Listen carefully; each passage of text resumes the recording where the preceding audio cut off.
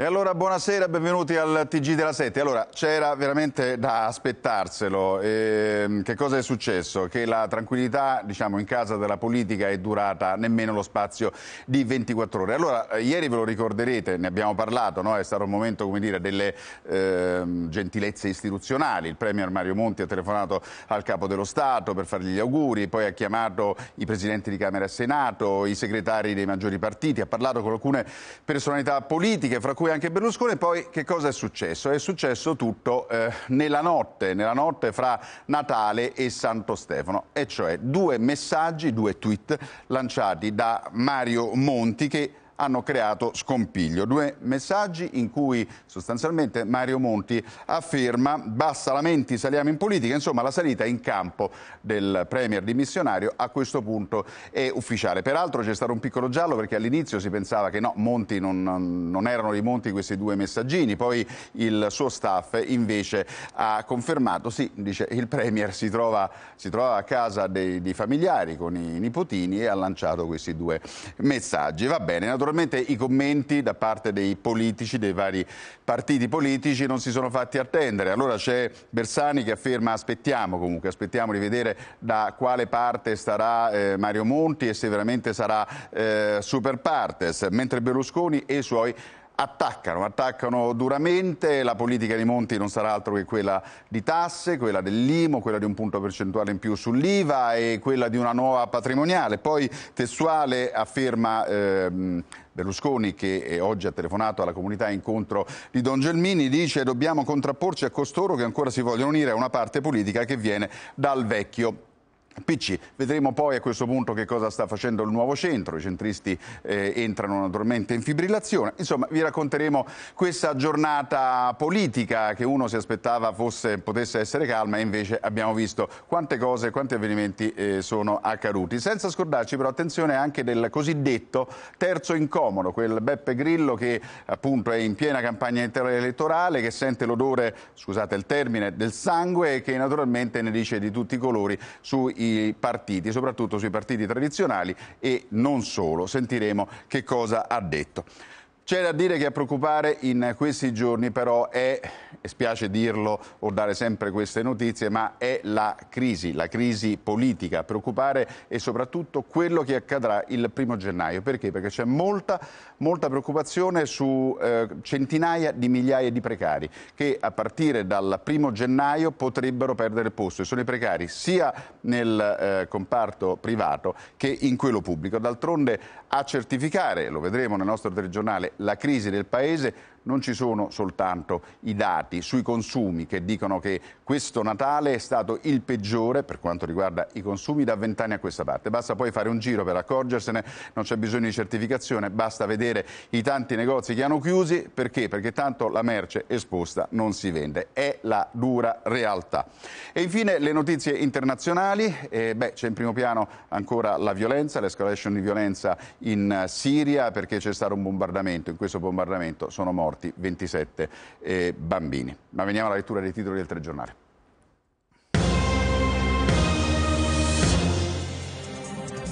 I tre tweet di Natale con l'annuncio della salita in politica da parte di Mario Monti sparigliano le strategie dei partiti, scatenano le polemiche, moltiplicano i follower in rete. Abbiamo salvato l'Italia dal disastro, dice Monti, adesso va rinnovata la politica e dal popolo della libertà arriva un attacco violentissimo all'agenda Monti, una cura sbagliata, fatta di tasse. L'offensiva sottolinea anche il problema della terzietà di Monti. Non è più un tecnico ma un politico, dice Cicchitto. E Berlusconi strizza l'occhio e fa promesse alla Lega. Se si alleano il vice premier sarà del Carroccio. Da Bersani giudizio sospeso, vedremo se sarà neutrale, afferma il segretario del PD rivolto a Monti, poi dice di rispettare la decisione ma prende tempo. Solo quando Monti si candiderà come Premier diventerà un vero avversario, ma soprattutto deve chiarire dove si colloca. Il conto alla rovescia più amaro per migliaia di precari con i contratti in scadenza. Dal 31 dicembre potrebbero rimanere senza lavoro. L'allarme lanciato dalla CGL che punta il dito sulla legge Fornero, il cui obiettivo, secondo il Ministro, è quello di colpire la flessibilità cattiva e premiare la buona. Da vent'anni a questa parte non si era mai visto un Natale peggiore, lo dicono le associazioni dei consumatori. Si parla di un ribasso dei consumi tra il 14 e il 20%. I soldi sono andati via con l'IMO e con il mutuo, zero per altri consumi e ieri e oggi negozi chiusi perché tanto non si vende. Strage di bambini in Siria con le bombe di regime, sono 27 i minori uccisi, oltre 100 le vittime. Il capo della polizia diserta e punta il dito sul regime di Assad accusandolo dell'uso di armi chimiche. Spuntano intanto le prime cifre, sono 45.000 i morti dall'inizio della rivolta. Allora, buonasera, benvenuti al TG della 7. Dunque, due messaggi diffusi via internet e subito campagna elettorale. Due messaggi li ha inviati via Twitter Mario Monti, che così annuncia di fatto ufficialmente il suo impegno in politica. Basta lamentele, scrive il professore, rinnoviamo l'Italia, insieme saliamo in politica. E i centristi, naturalmente, che lo appoggiano, entrano per così dire in fibrillazione. Ma sentiamo.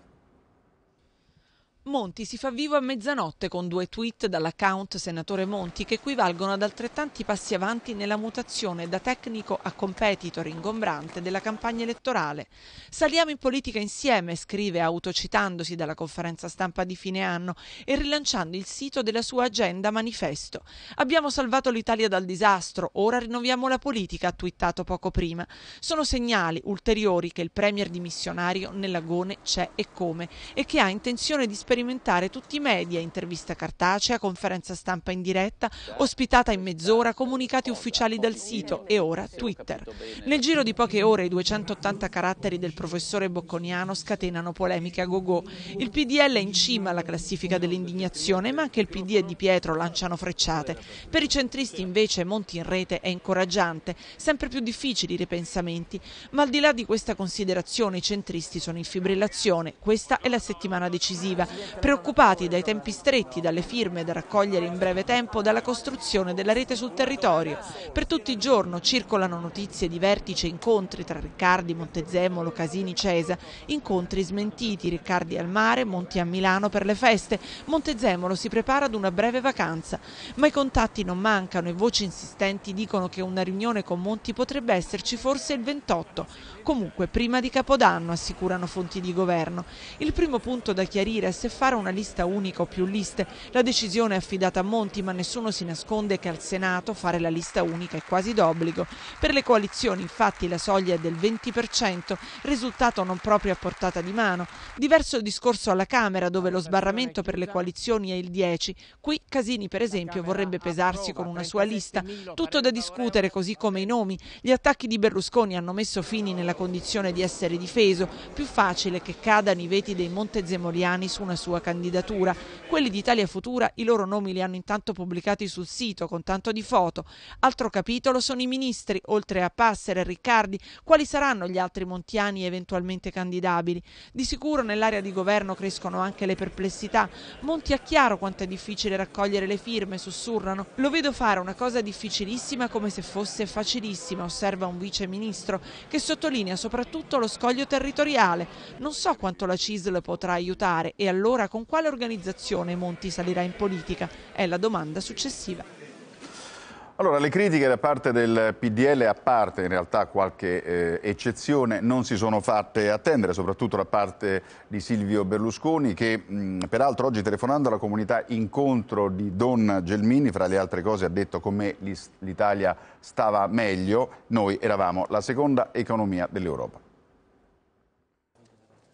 Un tweet, quello di Monti, che spariglia mettendo tutti di fronte al fatto compiuto. La salita in campo è ufficiale, la minaccia per i concorrenti è resa evidente dalle reazioni più che piccate, soprattutto tra i followers del Cavaliere, tanto che l'appena fuoriuscito Cazzola si affretta a dichiarare. Sorprende la quantità di astio e invettive che arrivano dal PDL.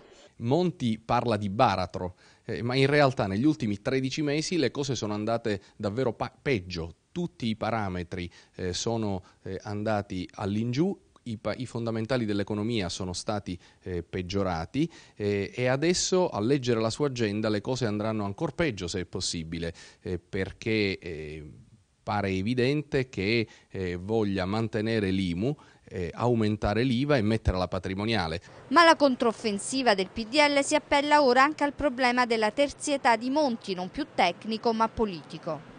Ci troviamo di fronte ad un paradosso che non è risolto dal fatto di parlare di discesa o di salita in campo, ma un paradosso che è un vulnus perché il eh, Presidente Monti quando si incontrò con noi ci escluse nel modo più assoluto che lui sarebbe sceso in politica alla fine di questa esperienza.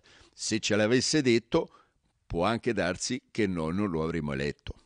Rincara la dose Gasparri, la sua permanenza alla guida del governo ormai è un problema che deve essere valutato ai massimi livelli istituzionali. L'attacco a Monti ormai frontale e da parte di La Russa anche ironico. Su un tweet il fondatore del neonato Fratelli d'Italia riporta le parole pronunciate dal Premier un anno fa Chiamatemi pure prof, sarò premier per poco.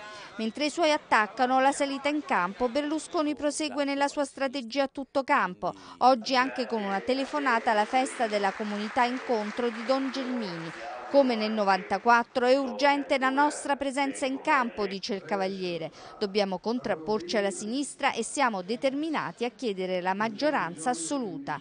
Berlusconi attacca senza mezzi termini l'UDC e quelli che definisce gli altri partitini che vogliono creare un centro stampella della sinistra e prova a corteggiare la Lega. Maroni deciderà venerdì sull'alleanza con il PDL. Se vinceremo le elezioni avrò un vice premier leghista.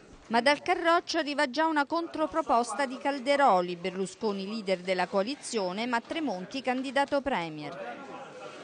Ecco, allora, PDL, abbiamo visto le reazioni e eh, la Lega. Nel PD invece eh, Bersani è, come dire, attendista, eh, con molti con Monti dice alcune cose sono condivisibili, altre un, altre un, po' meno. Aspettiamo per vedere se Monti sarà veramente al di sopra dei parti e conquisterà. Mentre eh, poco fa il capogruppo del PD, del PD, alla Camera, Dario Franceschini, ha scritto con Monti può nascere un polo conservatore normale al posto del berlusconismo. Nostri avversari sì, ma nelle emergenze anche eventualmente alleati possibili. Ma sentiamo.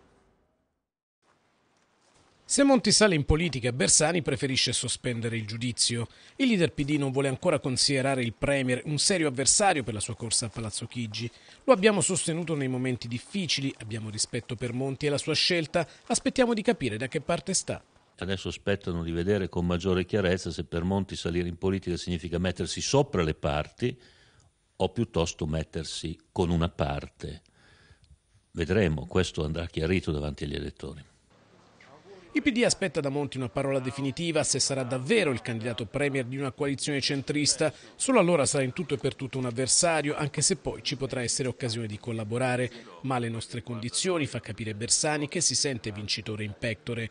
Noi siamo di gran lunga il più grande partito del paese, riformista e aperto a discutere con chi è contro Berlusconi, la Lega e i populismi, dice. Queste sono le nostre posizioni, gli altri decidano cosa fare ed escano dalle ambiguità. Del resto anche il giudizio sull'agenda Monti è molto tranchant. Non c'è nulla di sorprendente, commenta Bersani, ci sono cose condivisibili ed altre meno. La vera discriminante tra il nostro programma e quello di Monti, dicono dal PD, e chi paga dalla sua agenda non è chiaro, ma non saranno di certo i gruppi di interesse finanziari e le banche. Come dire che non sarà su quel terreno che il partito si spaccherà. L'uscita del giuslavorista Ichino e di quattro parlamentari ex popolari legati a Beppe Fioroni non viene vissuta come l'inizio di una valanga, anche perché nessuno nel partito crede che Matteo Renzi, corteggiato numero uno dai Montiani, farà un passo verso il professore. Dunque nessun dramma, nessun allarme. La sintesi la fa, anche lui con un tweet, Dario Franceschini. Con Monti può nascere un polo conservatore normale al posto del berlusconismo. Nostri avversari, ma nelle emergenze, anche alleanze possibili. Ecco, poco fa è intervenuto anche il leader di SEL, Nichi Vendola, ha affermato Monti sta da una parte del mondo, noi siamo dalla parte del mondo del lavoro e della giustizia sociale, ricordando poi Vendola, ma in senso evidentemente critico e negativo, l'incontro a Melfi fra Monti e Marchionne. Allora, queste dunque sono le reazioni in sintesi dei partiti. Sentiamo a questo punto le opinioni di due commentatori, sono Filippo Facci di Libero e Mario Secchi, direttore del Tempo. Un cinguettio di Mario Monti eh, ha monopolizzato il dibattito politico. La sua salita su Twitter eh, ha cambiato eh, lo scenario di una giornata eh, e credo che in futuro eh, sarà destinato a cambiare ulteriormente quella che è la campagna elettorale. Non è più un Monti tecnico, è un Monti politico. Ma adesso che siamo anche a inseguire i tweet di Monti, mi sembra che parli più del giornalismo italiano che di Monti. Il fatto è che Monti non è salito in campo, non è disceso in campo, in campo c'era e c'è rimasto. Di fatto vuole però giocare a porte chiuse e in Eurovisione, non vuole candidarsi come tutti insieme dei partiti per essere eletto dagli italiani, ma vuole mandare avanti i partiti che lo eleggano nell'unica fase che conta, che sarebbe quella del dopo elezioni. È estremamente interessante eh, la salita su Twitter eh, del Presidente del Consiglio, eh, perché con un messaggio assai semplice, cioè lamentarsi non serve, bisogna salire in politica, alla fine ha costretto eh, tutti i partiti a commentare addirittura queste poche righe, nonché il suo programma. È una strategia di comunicazione?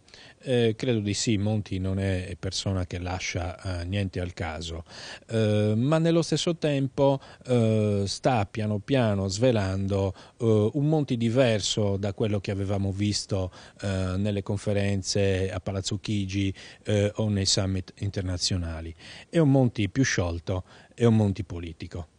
Monti non si propone come candidato premier per una ragione non tanto e solo legata al fatto che lui vuole mantenere un'immagine super partes e non sporcarsi le mani col consenso, le campagne elettorali e queste schifezze democratiche, ma per il fatto che ha visto, sondaggi alla mano, che alla fine il suo nome su una lista sua o di altri non farebbe tutta questa differenza. Quindi benedice o maledice eh, delle liste altrui, dopodiché si prepara comunque a essere incaricato in una situazione in cui magari non ci sia altra possibilità perché non c'è un vincitore chiaro. Bene, ed ora parliamo del cosiddetto terzo incomodo, quel Beppe Grillo lanciato ormai in piena campagna elettorale che oggi è tornato ad attaccare i partiti tradizionali e non solo. Se non sono zombie, poco ci manca. Non camminano, ma ballano intorno alle sedie disponibili in Parlamento, come si faceva nelle feste di una volta. A consegnare l'immagine danzante è un grillo aggressivo come sempre, ma più macabro del solito, che dal suo blog osserva le manovre per conquistare uno scranno nella prossima legislatura. Sempre meno posti, scrive sempre più aspiranti, con uno sguardo che va oltre i canonici 360 gradi.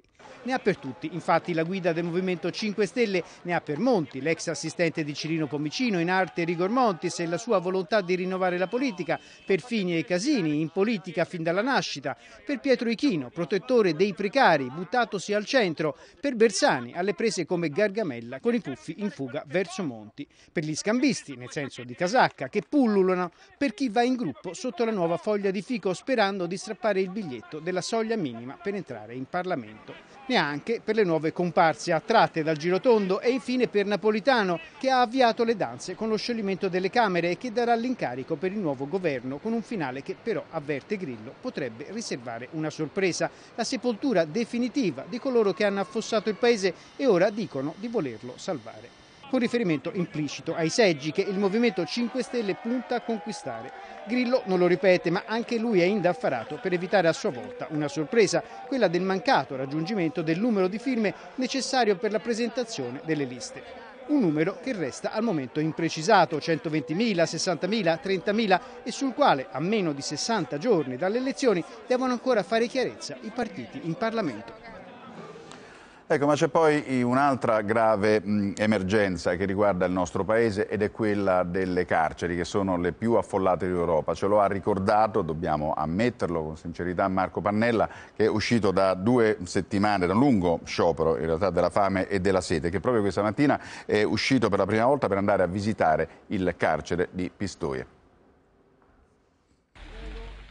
Sospeso il digiuno, tornato fisicamente più in forma, i capelli raccolti a coda, Marco Pannella arriva a Pistoia nel giorno di Santo Stefano insieme alla parlamentare radicale Rita Bernardini in visita al carcere di Santa Caterina, un piccolo penitenziario, struttura vecchia e malata di sovraffollamento, celle piene, 75 posti letto per 150 detenuti, il doppio della capienza prevista una realtà che i radicali denunciarono nove mesi fa con un'interrogazione parlamentare e da cui oggi riparte il tour politico di Pannella reduce da uno sciopero della fame e della sete durato due settimane e sospeso la notte scorsa. Ricomincio a mangiare ma sono pronto a riprendere lo sciopero se lo Stato non esce dalla flagranza criminale peggiore dello Stato fascista, nazista e totalitario comunista, dice il leader radicale usando la sua retorica. Nell'agenda Monti nulla si dice su giustizia e carceri, aggiunge e rilancia la richiesta di un'amnistia tutti dicono che noi stiamo lottando per i carcerati. E i carcerati che stanno lottando come luogo della resistenza democratica e liberale per tutte e tutti gli italiani richiesta di amnistia a cui si unisce la comunità di Sant'Egidio che per il quarto anno consecutivo ha organizzato oggi un pranzo nel carcere di Regina Celli a Roma. Nella rotonda del penitenziario a tavola 110 detenuti in rappresentanza dell'intera comunità carceraria. Anche qui è emergenza sovraffollamento. Le carceri italiane scoppiano oltre 66.000 detenuti per 42.000 posti previsti, Poco più della metà sono condannati definitivi, tutti gli altri in attesa di giudizio. Situazione esplosiva che genera scintille casi come quello di ieri nel carcere Dozza di Bologna, dove una maxi rissa tra detenuti extracomunitari ha rischiato di degenerare. Primo gennaio è una data che potrebbe essere molto molto triste per centinaia di migliaia di precari, sia nel comparto pubblico che privato, che a partire da quella data potrebbero perdere il loro posto di lavoro. Meno 5. Per centinaia di migliaia di precari il conto alla rovescia è agli sgoccioli. Dal primo gennaio potrebbero perdere il lavoro. La maggior parte dei contratti di collaborazione in essere, sia nel pubblico che nel privato, infatti, scadrà a fine anno. A lanciare l'allarme è il NIDIL, il sindacato dei lavoratori atipici della CGL, che ha promosso la campagna Capodanno 2013 Non restare da solo per assistere donne e uomini che torneranno ad essere disoccupati. Dal 1 gennaio entreranno in vigore alcune delle misure sull'occupazione previste dalla legge Fornero, il cui obiettivo, a detta del ministro uscente che l'ha messa a punto, è colpire la flessibilità cattiva e premiare quella buona. In un primo momento, cioè, i nuovi contratti di accesso al lavoro dovrebbero favorire la massima flessibilità poi, col passare del tempo, rendere l'impiego più stabile. Ma intanto molte famiglie italiane si ritroveranno un disoccupato a carico. Nel terzo trimestre dell'anno, secondo l'Istat, i collaboratori a progetto Coco Pro e coordinati e continuativi Coco Co erano 430.000. Per l'Inps nel 2011 le persone con almeno un contratto di collaborazione nell'arco dell'anno erano circa 1.465.000. Insomma, per centinaia di migliaia di lavoratori non è prevista neppure la proroga di sei mesi inserita nella legge di di stabilità, quella cioè che permetterà ai precari della pubblica amministrazione con contratto a tempo in scadenza che abbia superato 36 mesi di rimanere al lavoro fino al 31 luglio prossimo. La riforma del lavoro introduce anche l'ASPI, l'assicurazione per l'impiego destinata a sostituire l'indennità per la disoccupazione involontaria e dal 2017 quella di mobilità tutelerà un numero maggiore di persone, tutti dipendenti del settore privato, apprendisti compresi, con importi più elevati e per tempi più lunghi. E se è presto per fare un bilancio delle riforme messe a punto da Fornero, fa ancora discutere la sua accusa ai giovani di essere ciusi, schizzinosi nella ricerca del primo impiego. Secondo Data Giovani di Padova, che dal 2010 aspira a diventare un vero e proprio sindacato dei giovani, i neoassunti nel primo semestre di quest'anno sono quasi il 20% in meno rispetto allo stesso periodo del 2007, ma il loro livello di istruzione cresce di pari passo con la domanda di maggiore professionalità. Il calo di assunti per la prima volta, pari al 46%, riguarda soprattutto i meno istruiti. Ecco, d'altronde a certificare, se mai eh, ce ne fosse bisogno che il nostro Paese è in crisi, arrivano anche i dati, i dati che riguardano i consumi eh, di questo Natale. Sono purtroppo i più bassi da vent'anni, pensate, a questa parte. Poi d'altronde basta dare un'occhiata in giro, vedere le decine e decine di negozi che sono chiusi, non tanto perché abbiano cessato la loro attività, ma perché la merce che espongono comunque, in ogni caso, non si vende. Era un'Italia diversa e il carosello ne è un simbolo. Tra gli anni 50 e i 70 il nostro paese scoprì il consumo, che significa acquisto, ma forzando il concetto nemmeno poi tanto anche partecipazione corale a un progetto di civiltà. Nel 1977 Carosello chiude. Segue l'era degli spot finché convincono, ma nel 2012 chiudono invece i negozi e forzando ancora il concetto, anche il crollo dei consumi e allora la partecipazione inevitabile a un progetto però di crisi. Le statistiche sono tutte uguali, ossessivamente a ribasso, autoflagellanti. Difficile aspettarsi qualcosa di diverso, per cui inutile ricamare troppo con i numeri cercando conferma quello che sappiamo. Di numeri oggi ne bastano un paio. 20 sono gli anni, secondo il Codacons, i quali non si è mai visto un Natale peggiore. 14 è la percentuale di ribasso dei consumi, secondo Feder Consumatori, in questo frangente di festa. Ma sì, sappiamo già, fin qui ha retto l'alimentare e l'elettronica, ma scendono anche loro e lo fanno pure i giocattoli, forse perché ha ragione l'ex Premier Monti a ricordarci che questo paese deve rimettersi a fare bambini. Peccato che i dettagli sulla successiva fornitura di un futuro minimo garantito manchino del tutto. Vorremmo dirvi anche che la spesa media per famiglia si è attestata per le strenne sui 148 euro, ma è veramente cifra relativa. Confrontata con i 481 euro di una pensione minima è un importo enorme, che diventa però una goccia se il conto si fa con quel 10% d'Italia che controlla il 50% della ricchezza nazionale. Per il resto la realtà vuole che la tredicesima sia evaporata con l'IMU e con le rate del mutuo. Si è pensato così di spingere gli italiani al consumo anche senza carosello. Il decreto Salva Italia ha liberalizzato gli orari e la Corte Costituzionale non ci ha visto niente di illegittimo. Ieri e oggi chi voleva poteva quindi restare aperto. La grande distribuzione non ci ha visto nulla di male, la piccola ha fatto di testa sua. Risultato? Ecco qui, serrande abbassate. Ma stavolta non è solo per la crisi, c'è anche la tradizione.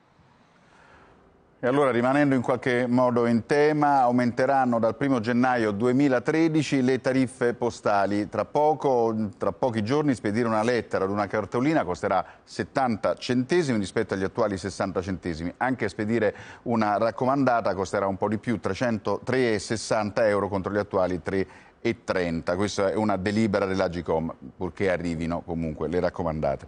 Ed ora le notizie internazionali con la terribile escalation, lo avete sentito nei titoli, di violenza in Siria. Oggi si registrano oltre 100 morti e 27 eh, bambini uccisi in un bombardamento avvenuto nel nord del paese e ad inquietare in questi giorni anche la denuncia, la denuncia di un generale capo della, a questo punto ex capo della polizia militare siriana che è passato con i ribelli, è fuggito in Turchia e ha affermato che il regime sta usando effettivamente armi chimiche. Abdulaziz al-Shalal tiene le mani sul tavolo, ben ferme, per tutta la durata del video. Resta immobile mentre legge la sua terribile denuncia. L'esercito siriano ha usato i gas contro le popolazioni della regione di Homs il 24 dicembre. Al-Shalal è un generale dell'esercito siriano, capo della polizia militare e ha appena disertato. Si è rifugiato in Turchia dove ha registrato il video nel quale smentisce il ministro dell'informazione del suo paese che appena tre giorni fa aveva dichiarato che la Siria non potrebbe mai utilizzare armi chimiche contro il suo popolo. Nel suo messaggio al-Shalal spiega i motivi della defezione. L'esercito siriano si è trasformato in una banda che semina morte, compie massacri, distrugge città e villaggi ai danni del popolo che chiede la libertà. Se fosse vera la dichiarazione di al-Shalal sull'uso di gas potrebbe avere effetti dirompenti. Solo poche settimane fa Barack Obama aveva detto che il mondo non avrebbe tollerato l'uso di armi chimiche in Siria e la stessa Russia, seppur su posizioni ambigue, aveva in parte condiviso.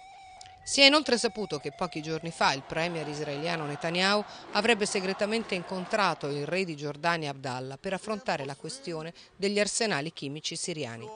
L'israeliano avrebbe proposto di attaccare gli impianti di stoccaggio, ma il re si sarebbe opposto, considerandolo troppo pericoloso per la popolazione siriana. La seconda opzione proposta da Netanyahu prevederebbe l'invio di una forza internazionale di 8.000 uomini, in altre parole un'invasione di terra. Attorno alla tragedia siriana dunque continua a muoversi la diplomazia, anche se con un movimento molto lento. Le parole di al-Shalal sono arrivate sugli schermi di Al-Arabiya mentre l'inviato ONU Brahimi lasciava il palazzo presidenziale di Damasco dopo un inutile incontro con al-Bashar e si apprestava a volare in Russia per continuare quella che appare sempre di più una missione disperata. Mentre oggi nuove stragi e nuovi massacri hanno insanguinato il paese. Le vittime si contano a decine, forse più di cento, e i bambini uccisi sarebbero 27. I morti hanno superato quota 45.000 da quando, 21 mesi fa, è scoppiata una guerra civile che appare infinita. Ora una pausa nel nostro telegiornale.